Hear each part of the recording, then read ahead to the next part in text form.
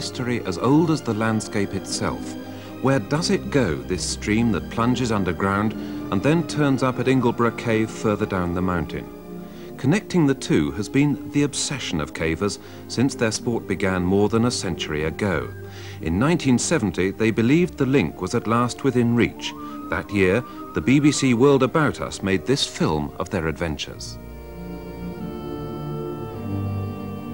High up on the Pennine Hills of northwest Yorkshire, a river, Fell Beck, begins to carve its way between the limestone folds. Almost before it's begun its journey, it becomes lost. The water spills down a hole, Gaping Gill. What happens to it? No one knows.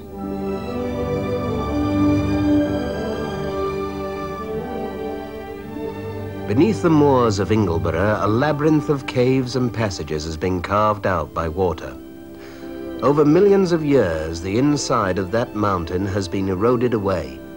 The honeycomb remains, and so does a mystery. The river water has gone. Up on the moors, where the river might have run, it's dry. And underground, where the fast-flowing water might be found, there's none to be seen. The river goes in at one end, and two miles away and 500 feet lower down the slopes, it breaks into daylight. For a hundred years, cavers have challenged the dark secrets of Gaping Gill. Some have died. All have failed.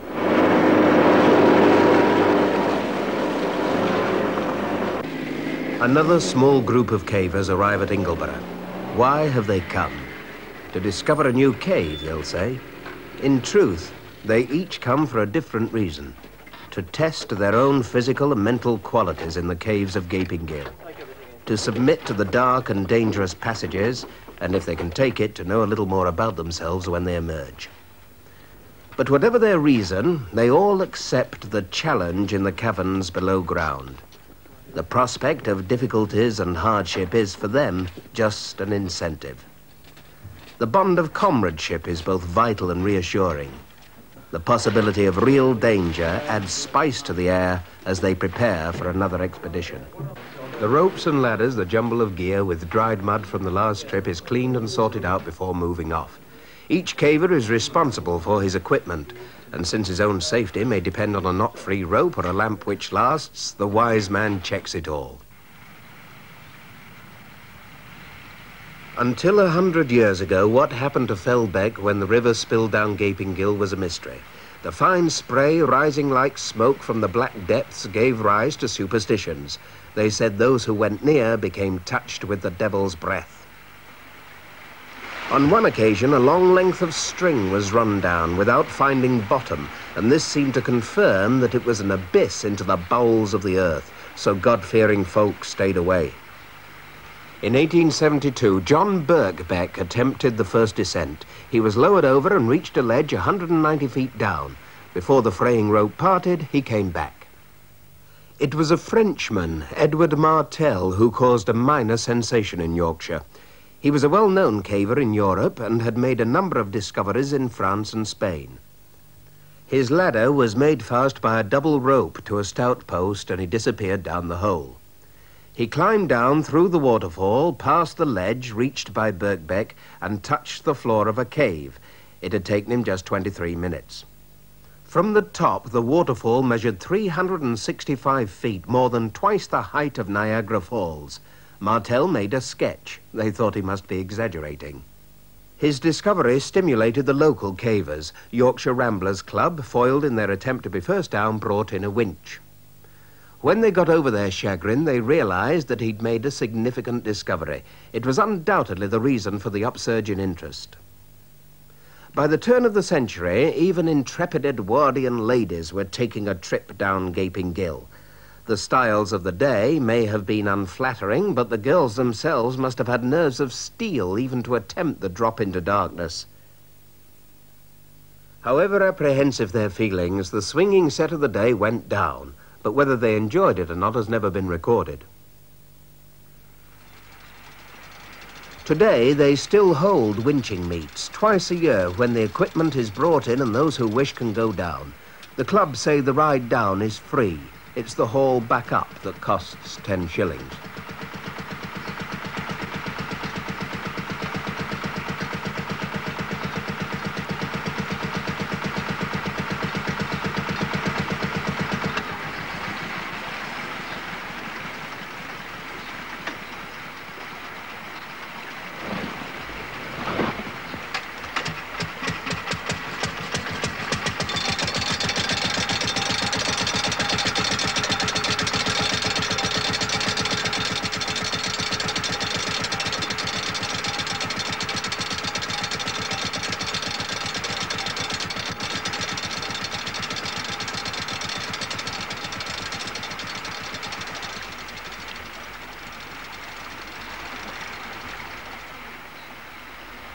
A man becomes no more than a spider when he drops into the main chamber of Gaping Gill. There is over 300 feet of rapid descent, and it's one of the tricks played on experienced cavers to let the winch drum run full speed and then brake at the last moment.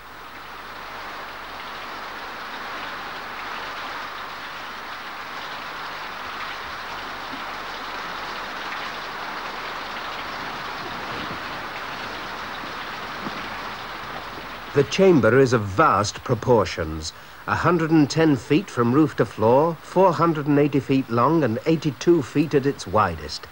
The cavern could comfortably hold York Minster, and it's the largest natural chamber in Britain. It was formed by the action of water and ice during the Ice Age.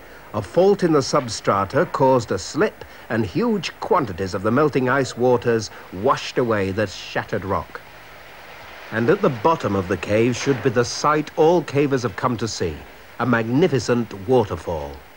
But the most remarkable and yet tantalizing feature is this waterfall. When the spray hits the floor, the water seeps out of sight. The rounded boulders act as a kind of filter, and the river quite simply disappears, not to be seen again until it reaches Ingleborough Cave. So the real quest to find the course of the river began. There was no chance to follow the water itself, and the Frenchman, Martel, had said there was no way out of the main chamber. Yorkshire Ramblers Club proved him wrong. There was an air of stillness, almost timelessness about East Passage, created by the stalactites hanging from the roof. Often cavers had to break off these precious formations in groping forward. Often, too, they had to move boulders and dig away the floor. By flickering candlelight, it must have been an eerie experience.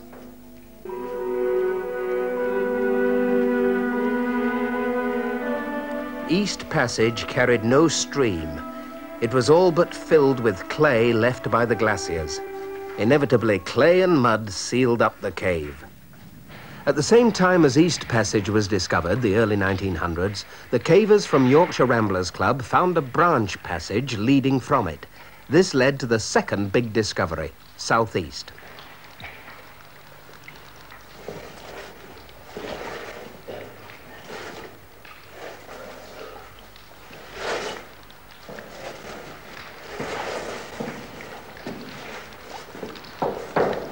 The direction gave the cave its name and also suggested a route towards Ingleborough Cave. It was like a railway tunnel, smooth and oval-shaped. This kind of cave was formed when water under high pressure once filled the passage completely. Fell Beck must have flowed this way when it was much larger than today. For the caver, it means walking at a back-aching continuous stoop, not low enough to crawl, not high enough to enjoy. The end was a collapse of boulders and still no sign of a river.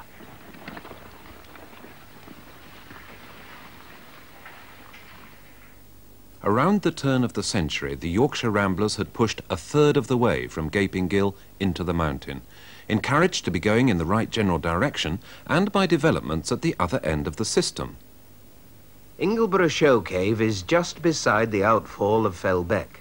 The river breaks out of the mountain and flows down to the village of Clapham.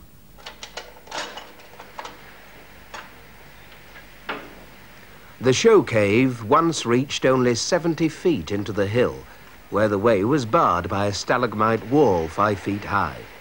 The old waterline still shows on the limestone rocks. Following a flood in 1837, the owner of the local estate ordered the dam to be broken down.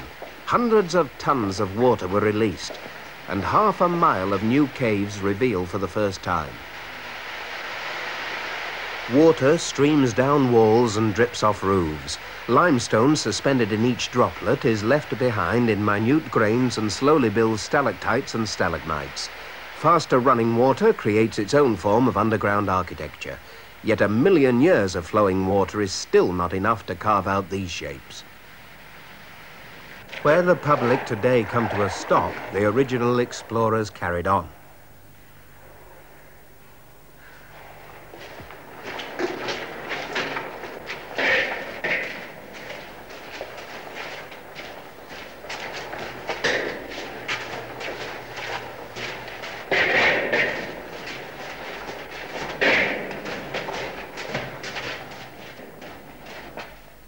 Even ladies of the day dressed in crinolines were coaxed to explore this section of passage. The pools through which cavers must now wade have only formed in recent floods and were then dry. But it was from here that the real problem started. It must have been the lure of running water that coaxed them on. The passage was only two feet high. Along the floor on which they were forced to lie ran the elusive Fell Beck.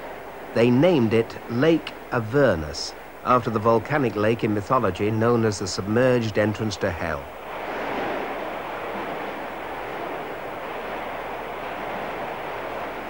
The original explorers were dressed in nailed boots, heavy tweeds, old coats, and bowler hats. Instead of lamps, they had candles. When they came to the lake, there was only one thing to do swim for it, with their candles stuck in the bands of their bowlers.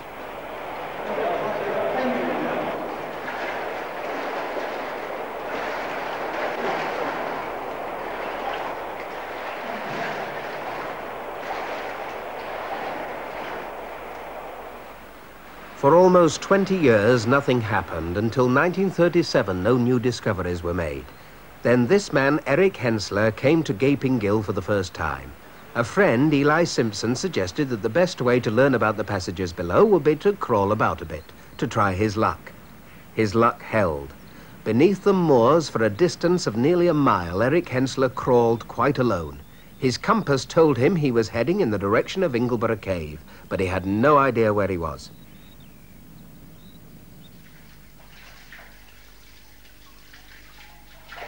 Here's a reconstruction of how Eric Hensler set about it. As always, he got his pipe going well and then set off.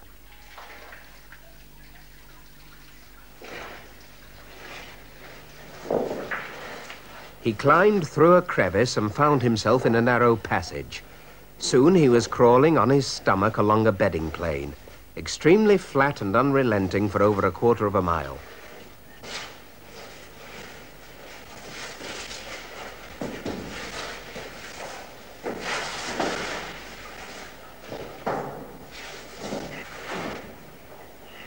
Eventually, he stood up. He'd entered a water-worn passage 10 feet wide and in places 60 feet high. Then, further on, the roof lowered and the way ended in a muddy sump pool.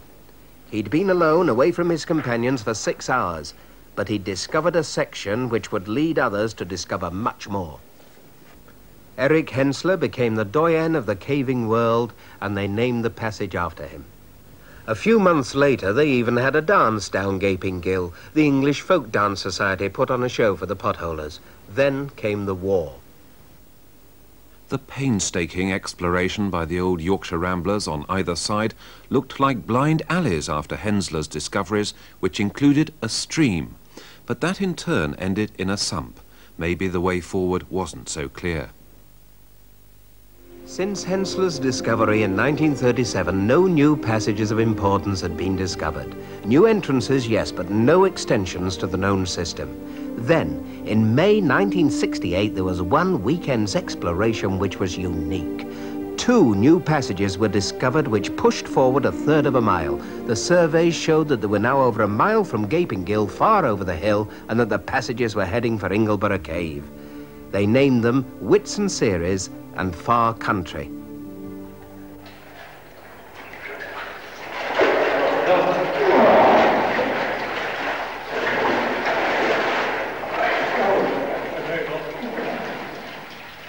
It took four hours to travel through to the end of Whitsun series and the caving task was Herculean. It was rated in caving terms as super severe. Only an expert could hope to get through.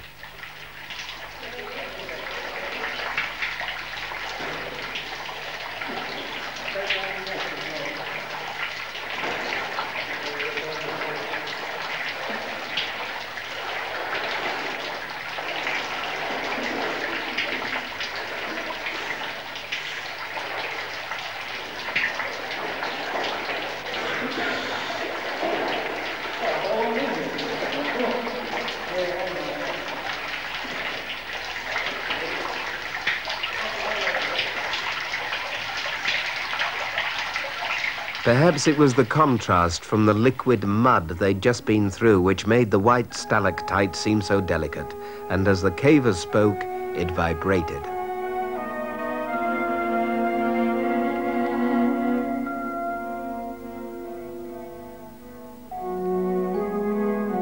The passage itself was probably one of the earliest in the system, now blocked in mud and with these stalactite formations as the caver's only reward.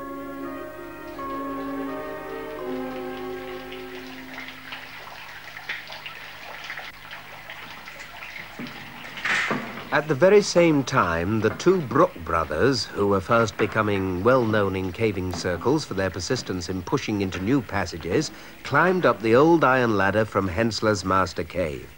They were looking into a supposed connection with East Passage suggested by a survey. The survey proved faulty, but the two men found a draft through a minute hole.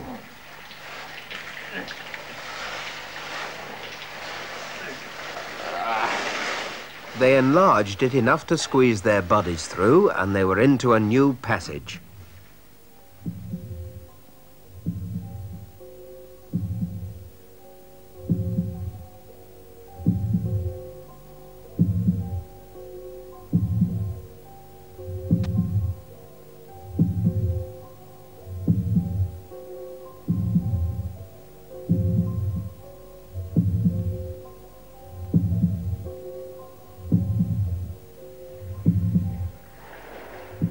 A completely new network led directly towards Ingleborough Cave.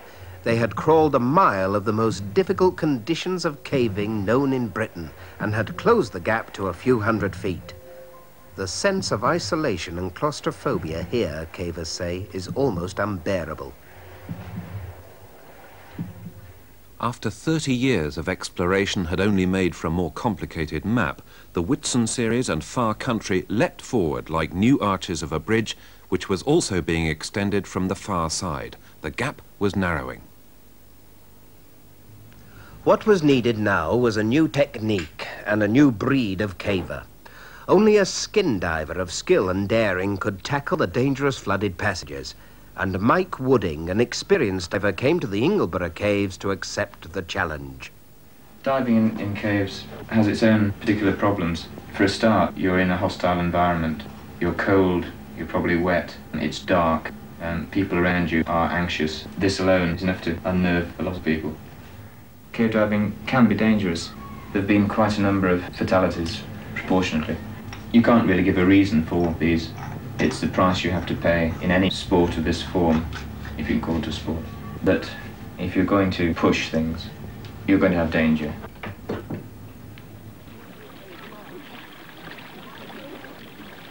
I started cave diving in a rather odd way. Most people go caving for a few years and get interested in diving somehow and gradually creep into it. I started caving because of climbing actually. I had a lot of friends who were badly injured, a couple killed.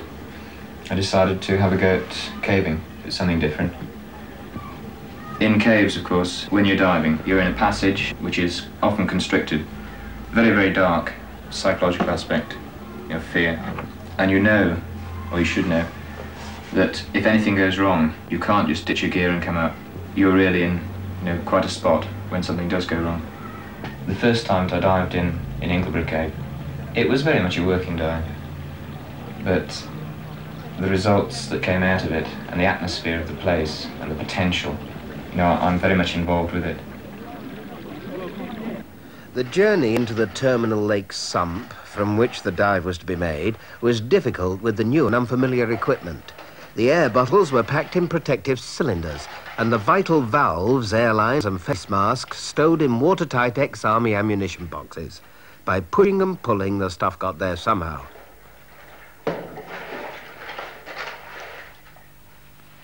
An inflatable dinghy was prepared for launching.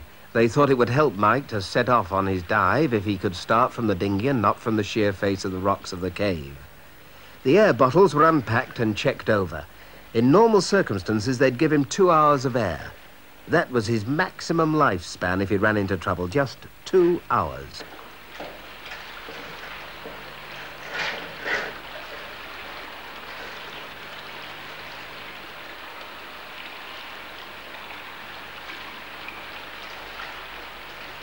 Over his rubber headgear, he wore his caver's helmet, almost as vital as the air cylinders.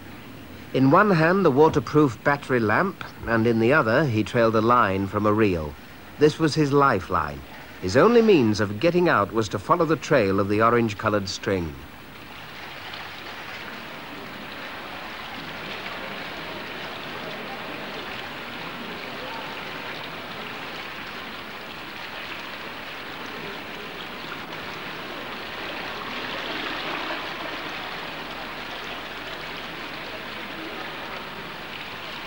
It was already two and a half hours since they went underground. Mike Wooding carried out a final check and prepared to disappear into the cold black water.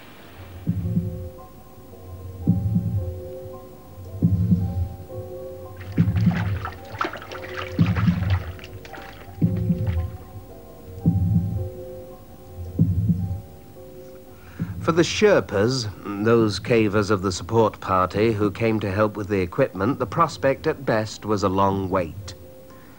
Cave diving has been through tragic times.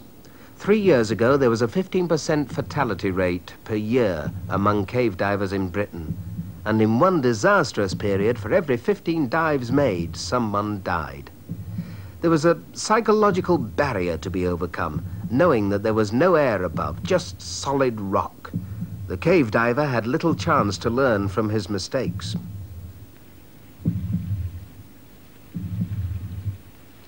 After an hour and a half, Mike returned. You, you know, I left you. Halfway through, you come into clear water, crystal clear water. It's just as if you're hanging there, you know, suspended. Then up into chambers, big dry chambers. We must be fairly close now. We're about 500 feet from the terminal sump. When word went round the villages, a rival cave diver appeared. Tom Brown from Bury was in the village of Clapham within days of hearing that cave diving was going on. He came as a rival and stayed to make a two-man team. It's a pretty long carry, I'm afraid. It's it's, uh, it's, it's about an hour's trip. From here, you've got vaguely north to the end of far country. And uh, these are very rough sketch surveys. Um, you, you know what I'm like on directions.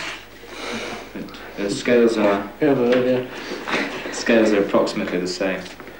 Your first sump is 300 with your inlets running off, and a 220. And then, if you add your next bit like that, lines up. And this is the dry stuff, the new high-level stuff. So, um, allowing that most of this will be lined up along the joints, we get something probably like that. Underground surveying was a less than exact science, but the map makers inked in the dry chamber, Gandalf's gallery, that Mike Wooding had discovered beyond his dive.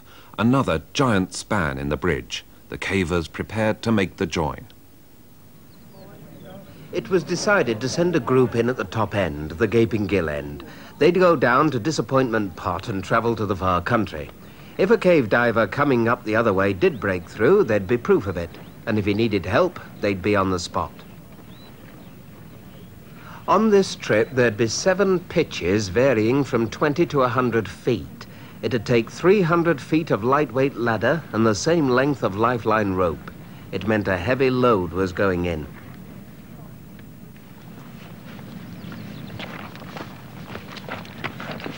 Ahead of them, six hours of the most grueling caving, including the most difficult part of all, the far country.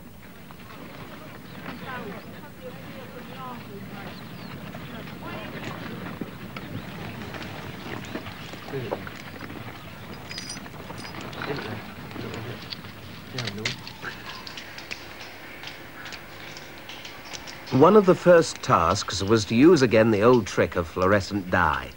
If a cave diver noticed green water, he could try to follow its track. Uh, mindful of the reaction of the villagers of Clapham, whose drinking water it is, they used it sparingly.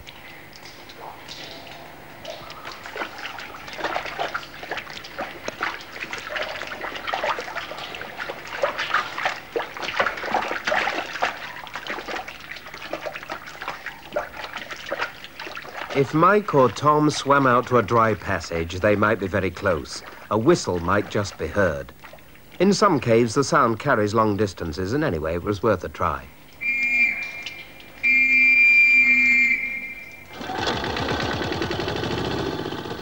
The cave divers brought in an air compressor for their cylinders so that they could dive into the flooded passages every day when the weather was right.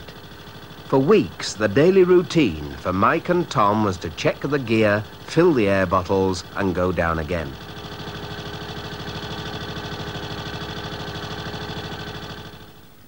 There were so many caves to explore, they might break through tomorrow or it might take years. All they could do was try.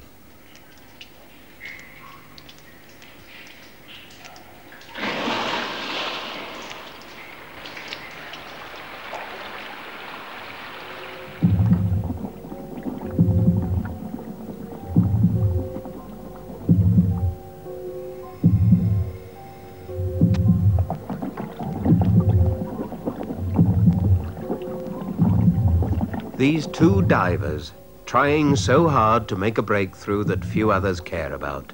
Why do it at all? The reasons I started cave diving are completely different from the reasons I'm cave diving at the moment. It's always been considered one of the dangerous aspects of caving that had an attraction in itself. The thing I realised was the fact that there's a lot to do with yourself. It's very deep down, deep down inside itself you're always trying to push yourself to the limit. But you never quite know where or what the limits are, either in yourself or in the stubborn intricacies of the limestone that still barred the way between Gaping Gill and Ingleborough. It had all seemed so close, but it was to be not days, but 13 years before a new team of explorers felt confident enough to summon a film crew as witnesses again. And that's another story. Música